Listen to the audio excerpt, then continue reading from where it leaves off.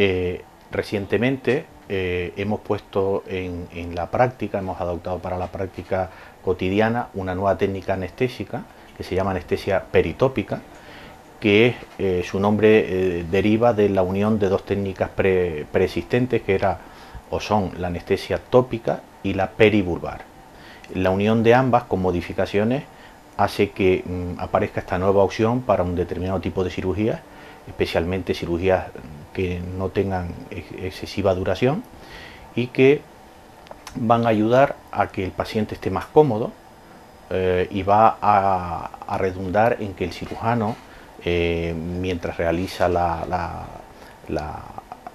técnica quirúrgica, eh, disponga del tiempo y la tranquilidad derivadas de la colaboración del paciente, con lo cual todo va a redundar en una cirugía más exitosa. Anteriormente se utilizaba la anestesia tópica, solo poner gotitas de un colirio en el ojo, con lo cual eh, solo está anestesiado el ojo, no los párpados o las estructuras eh, adyacentes. Y la otra técnica era la anestesia peribulbar, que llevaba o lleva dos inyecciones de anestésicos intraorbitarios eh, que muchas veces es doloroso y necesita de una sedación previa del paciente. Aquí, al combinar ambas, eh, se reduce eh, los pinchazos, por decirlo de alguna manera, a uno muy superficial que potencia a los colirios que ponemos a la vez. Ventajas es disponer de una anestesia total en cuanto a que no duele nada al paciente,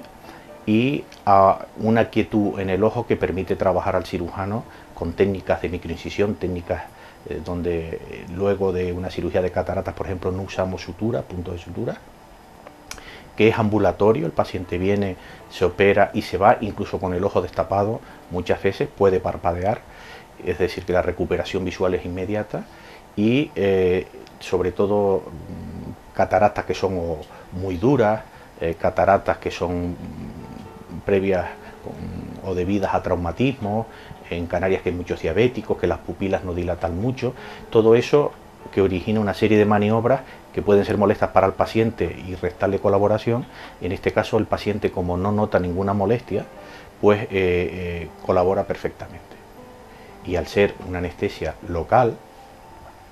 él colabora en adoptando posturas, moviendo eh, el ojo, moviendo la cabeza, es decir, el paciente colabora con el cirujano durante toda la cirugía. Bien, eh, este tipo de anestesia, como ya ha introducido el doctor Abreu, se utiliza pues para pacientes que poco colaboradores. Eh, nosotros lo hemos empezado a utilizar en cirugías de catarata y después se ha ampliado a cirugías de glaucoma y posteriormente se ha ido incorporando a técnicas de superficie como por ejemplo las membranas amnióticas. Eh, la, la bondad de la técnica se demuestra cuando un paciente es operado de un ojo con una técnica y en el otro con, otra. Sí, este tipo de anestesia eh, realmente el futuro es muy amplio porque eh, antiguamente cuando no existía la anestesia general, por ejemplo, se utilizaba la anestesia retrobulbar, que era una, anestesia local, una anestesia excesivamente invasiva.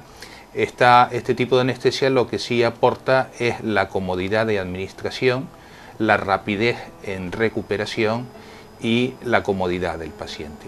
Entonces, eh, de cara al futuro, pues se puede incorporar a técnicas de estrabismo, a técnicas de cirugía vitroretiniana